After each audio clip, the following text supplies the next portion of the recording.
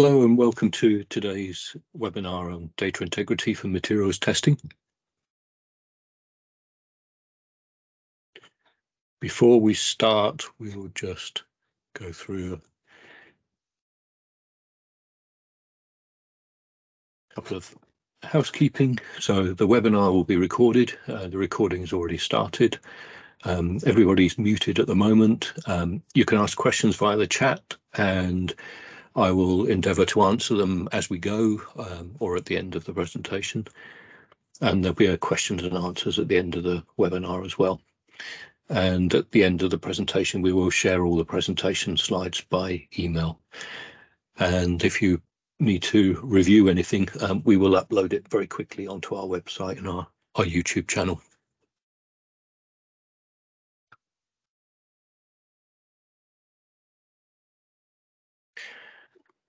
So myself, I've been working in materials testing for, for a long time, as you can see, um, and a, a, substantial part of that, I've been involved with many, many customers around the world, uh, focusing on data integrity, particularly in the pharmaceutical industry.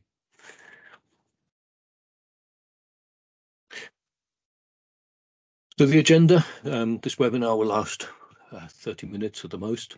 Um, we'll have a quick look at who we are, and we'll look at some of the applications. And the key part of the presentation will be looking at what is data integrity and understanding FDA 21 CFR Part 11. And then what we'll do is we'll use um, uh, some application software, the Lloyd NEXYGEN software, to give a worked example on how that data integrity uh, functionality is implemented in software so that when you're looking for a software, you know what to look for. And then we'll do a real life demonstration of a workflow of testing the glide force of a syringe, and we'll see how data integrity impacts each step of the process.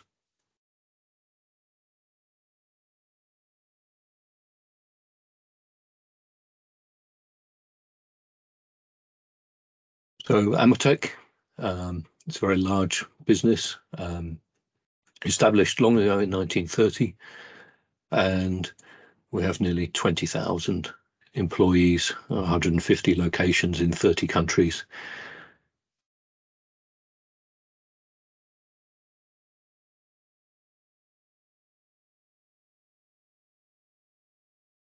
Ametek Test, um, specifically Lloyd Materials Testing, is one of those many businesses in the Ametek group.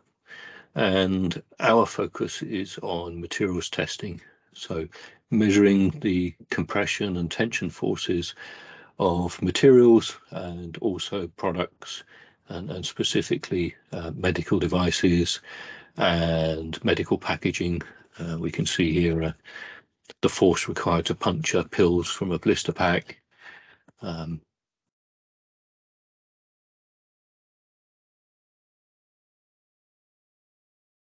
so the tests are typically for R&D um, and quality control, and uh, the most common test is, is syringe glide force.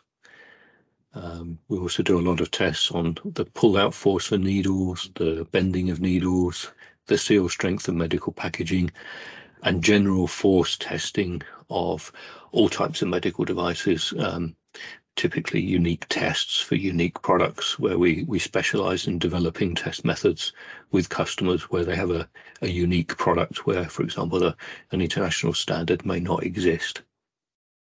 So those are the uh, applications. Um, we're going to focus on the syringe glide force when we get to the worked example. But before we go into the worked example and follow it through, let's take a step back and have a look at data integrity and the FDA 21 CFR Part 11 regulation and just refresh our memories on what it all means. So 21 CFR Part 11 defines the regulations for the conditions under which regulated companies can submit electronic records in lieu of signed paper documents. So the, the principle is very, very simple. You know, historically, we've all been testing and physically signing pieces of paper and storing that paper, sometimes for eternity. And really, it's defining regulations that allow us to do all of this electronically without paper. That's that's the fundamental uh, reason behind the regulation. The next paragraph is very, very critical. Um, an organization's compliance with 21 CFR Part 11 is a combination of application software features and an organization's policies, procedures, IT configuration. And it is key there that I mentioned it's an organization's compliance. Only an organization can be compliant with 21 CFR. You know, software on its own is not necessarily compliant, but an organization can be compliant using that software if their policies, procedures, and IT um, also fulfill the parts of 21 CFR Part 11 that are required. But what we're going to do in this meeting is focus on purely the application software and the features in there as uh, obviously the 21 CFR Part 11 organizations will already have IT and policies in place to meet those requirements. So we're going to focus on the application software, which is outside of a, an organization's day-to-day uh, processes. So what is data integrity? Data integrity refers to the completeness, consistency and accuracy of data. Complete, consistent and accurate data should be attributable, legible, contemporaneously recorded, original and accurate. And that's typically uh, shortened to the acronym ALCOA, um, which you'll see often.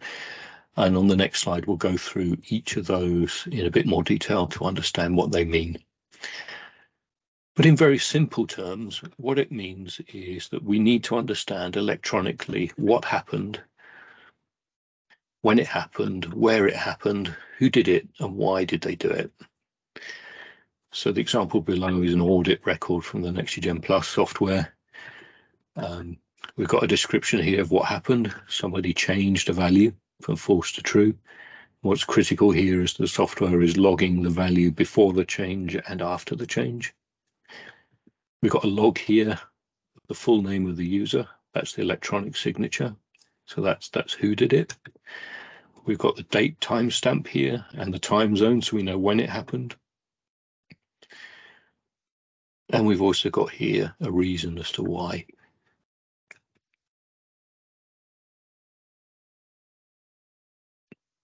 So the Alcoa principles attributable is simply saying that we need to register who recorded a record and when. It's got to be legible for obvious reasons. It's got to be in human readable form. Contemporaneous simply means it's got to be recorded there and then in real time. We can't be going back later and adding data. The original data has to be in its original form and has to be accessible. And the data's got to be accurate. It's got to be valid. It's got to be reliable. They're the five high level points. Um, and there are another five points that make up the Alcoa Plus principle. Available is making sure that all that data is actually available for the lifetime of the record and it can be accessed and be retrieved and be legible to be audited. Enduring, it's got to last for the required time that's specified for that particular data. Consistent is a very key one. We've got to make sure that the data files have all been stamped and they've got to be in the expected sequence. We don't want to see anything that looks out of sequence, which may indicate that the data is not accurate. And that there must be an audit trail to show that no data has been deleted or lost, which will demonstrate that the data is complete. So they are the, the, the, the core principles of data integrity. And what we'll do now is jump into some application software and see how that is translated into software features. So some of the key features to look for in a software the first point here is separation of system settings. So user management and user permissions should be separate from those performing the test. Active Directory user management is a really useful tool which enhances data integrity, but critically for most organizations, it significantly reduces the validation effort. We need an ability to create user groups, permissions, and restrict access to functions. Data integrity is as well similar to many of the, the Japanese quality procedures is instead of detecting something's going wrong, then let's let's stop it from going wrong in the first place. So we can we can use restrictions to functions to, to stop anybody doing something they, they shouldn't be doing. Electronic signatures are a very critical part of this. So the electronic signatures are required for authorizing changes and signing off on any work that's performed. And this really goes right back to the, the principle of 21 CFR Part 11, where we're putting in processes to enable us to use electronic records rather than paper, uh, paper physical signatures. Detailed audit trails will help us review that process. And data's got to be tamper proof, you know, and stored securely. Uh, often an SQL database is used for that. We mentioned Active Directory user management. This is one of the, the features of a software that really is time saving for an organization. About a third of the 21 CFR Part 11 uh, requirements are around creation of users, uh, identity checks, password complexities, and so on. So instead of having something in the application software, if the application software is retrieving users from Active Directory, then we know that that user has been created according to the company or organization's IT policy. So all the existing procedures have been followed. If there's any change at the, at the organization level, such as a suspension or removal of an account, um, then that account will automatically uh, cease to function within the application software. 21 CFR Part 11 has a section about ensuring uh, a certain level of password complexity and change intervals. By using Active Directory, we are effectively using an organization's current IT policy. So whatever's in place is what we are using. And if it ever changes in the future, it automatically ripples through to our software. And that really does mean there's a lot of uh, reduction in, in in workload in that there's not an independent system of user management and password complexities. Makes it easy for the users because they only need their Windows credentials. So their, their Windows Active Directory credentials allow them to electronically sign the changes or the work that they've performed.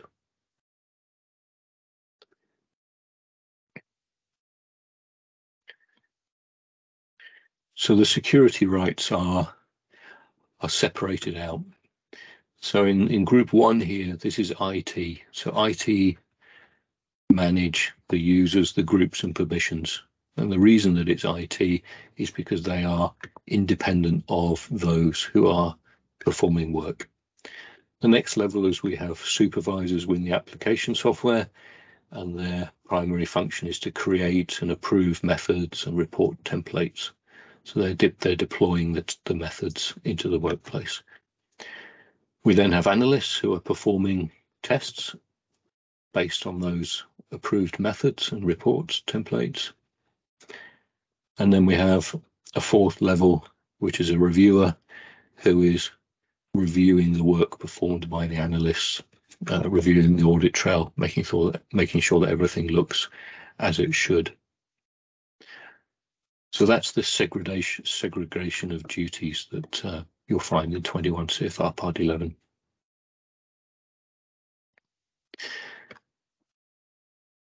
So let's look at the application software um, in real life, um, and that will help us understand how that's deployed. So what we're going to do here is we're going to start an NEXYGEN Plus security configuration, and this is where we are adding, removing users and altering their permissions. And first thing that will happen, we'll see that we have to log in. Uh, we need to be a local administrator, and this basically means that this functionality is locked to the IT department who are independent of the testing. We've got some settings here. These are the connections to the SQL database that the IT department will use, and they can keep that database secure. Now we're going to look at the users and the groups and the permissions for each group. So here we have groups. Um, we have example groups in the NEXYGEN software. You can have as many groups as you like and, and mix and match the permissions, but these are the permissions for these particular groups.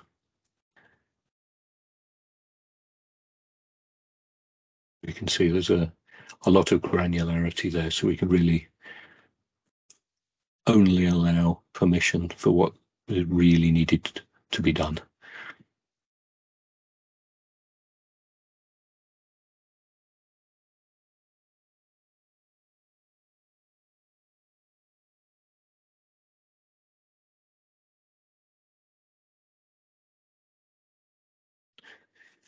So this is the user management. So it's it's pretty straightforward um, and it's using Active Directory. So the users are taken from Active Directory.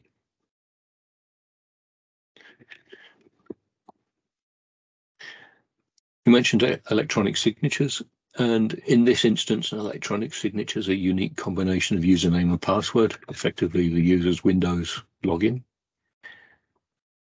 And the traceability needs the electronic signatures to authorize changes and sign off work typically in the NEXYGEN Plus software, any any action which is critical to data for integrity will force the user to enter a reason for what they did. So they'll enter a reason and then they will enter their Windows credentials to authenticate and add an electronic signature.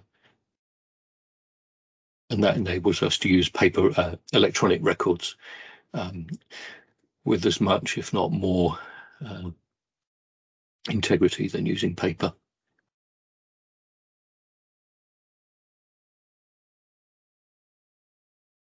These are some of the key requirements for an audit trail. We want to be logging configuration changes. Want to log also the before and after values. That's very, very critical. Any changes to the user management, new users added, users removed, uh, adjustments to users' permissions, that's all logged. Timestamps, and in the global world, we also need the time zone. The full name of the user responsible is what's used as an electronic signature on any reports and also in the audit trail. So we've got reasons for changes. Um, if any work is aborted for some reason, that will also prompt the user to enter reasons for the abort critical part of 21 CFR Part 11 is to log any failed login attempts. And another part is obviously secure all that data securely in, a, in an SQL database.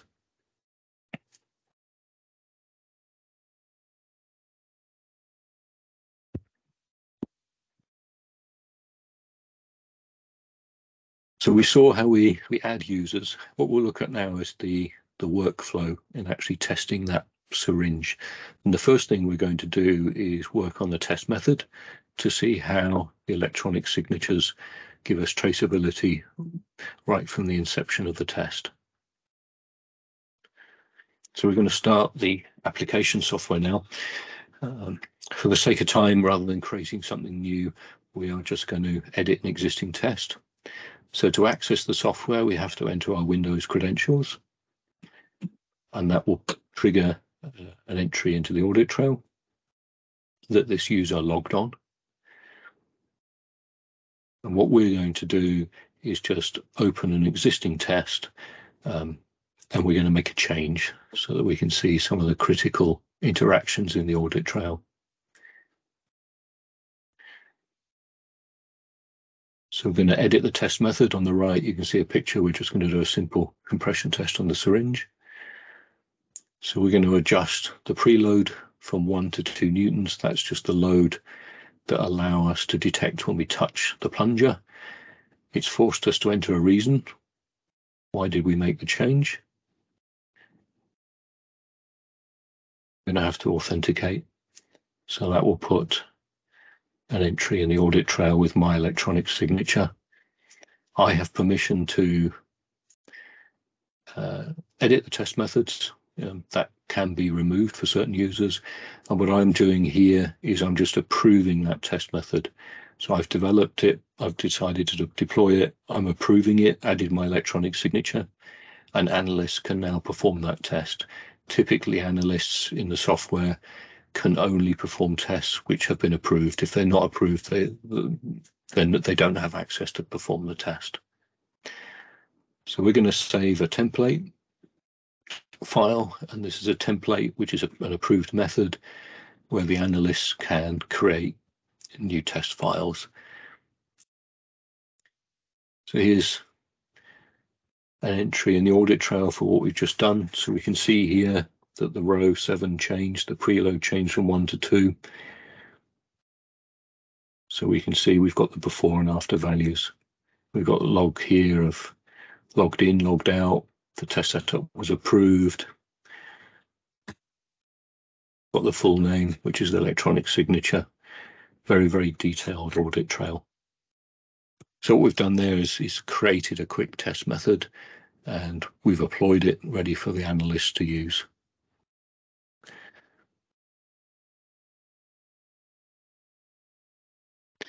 So now what we're going to do is switch roles and we're going to switch now and we're going to log in as an analyst actually perform a test.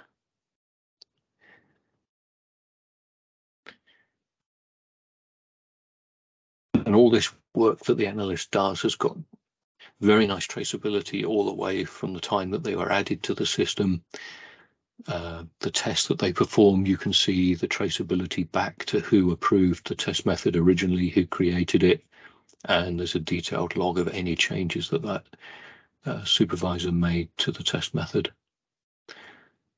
So we're creating a new test file from the test method that's been approved. And we're going to perform a test.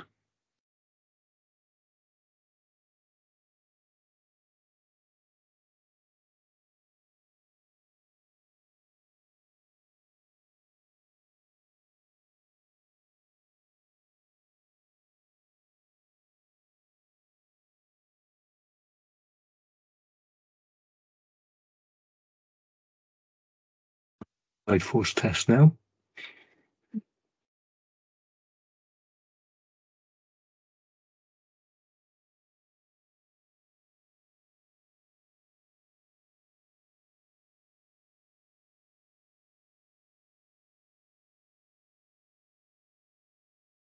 Test is completed. The analyst is going to approve that work and then they're going to use their Windows credentials and they've effectively added their electronic signature to that data, and that data is also stored in the audit trail. We also have very detailed traceability here with the software version, the the machine serial number, the load cell serial number, so we can track to calibration certificates. We can also see with this data who approved the original test method, when they did it, we can see the version of the test method. And here we actually have the signature of the, the person that performed the test. And then in the audit trail,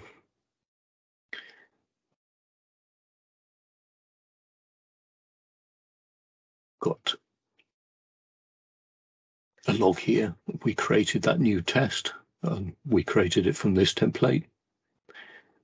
And there's a log of when the test started and when it finished.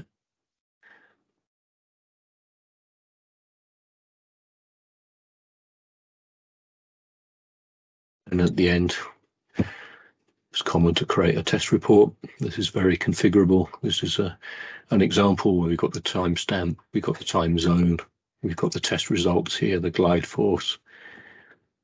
We've got the full name, of the person that approved that work. That's the electronic signature.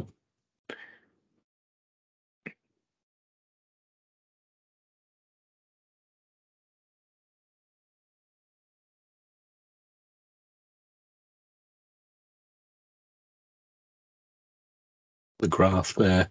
There's also a log here of the person that actually printed the report to PDF. That's also entered in the audit trail. There's a log there of who approved the method, and also there's a log that this user reviewed the data and approved it. So we've got traceability from method development to performing the test to review. And that gives you very, very secure data integrity throughout the process.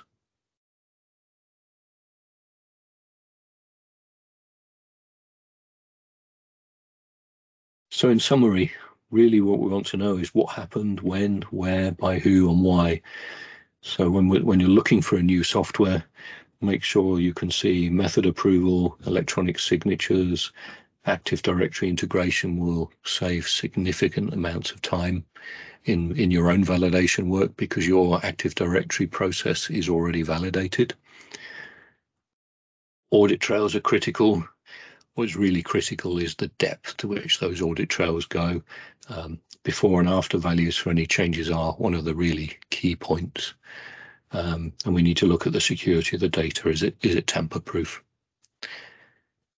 The key part in all of this, and it goes back to the beginning of the presentation where we mentioned that 21 CFR Part 11 is not purely about an application software. It's an organization that becomes compliant, and it's how that software interacts with an organization's IT, with their policies, their SOPs. Um, so it does need a partner who can review all of those parameters with you, who has solid understanding of data integrity, so that you can be very, very confident that a software will fit into your processes and allow you to be compliant. And that is something that we provide uh, across the globe. That's reached the the end of this presentation. We're just under the half an hour. Um, I'll open the floor now to any questions that anybody may have. Feel free to drop some questions in the chat.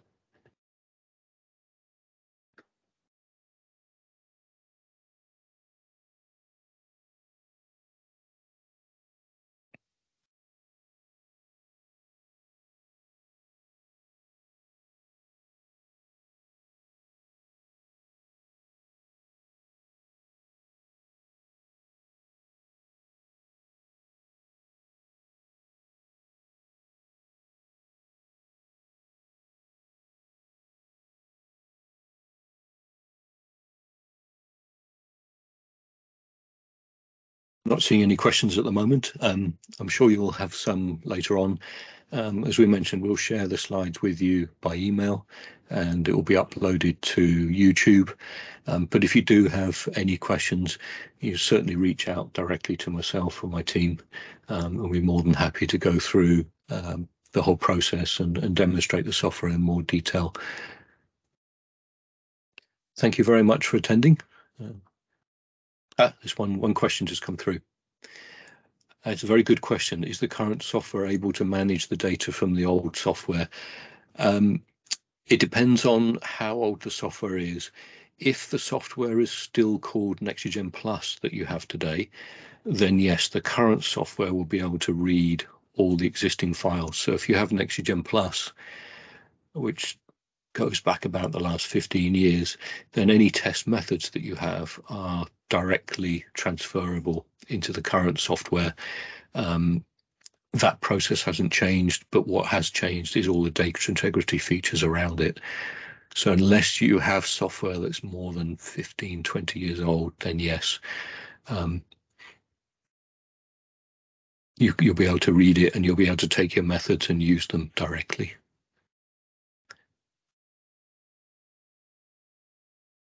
The question here on the system requirements to upgrade to the current version. Um, in reality, to get good performance eh, these days is, is not difficult with a PC from a system requirement point of view, from a PC spec. You know, an i5 with a solid state drive will give you more than enough performance. Um, what it will need is uh, an SQL server, uh, which any users of the existing NEXYGEN Plus won't have. We do supply a standalone server, um, or you can use your network SQL license if your organization has, you know, a corporate wide SQL. Um, so you will need to be able to connect to that. Um, but there's there's very little uh, in additional requirements compared to current versions.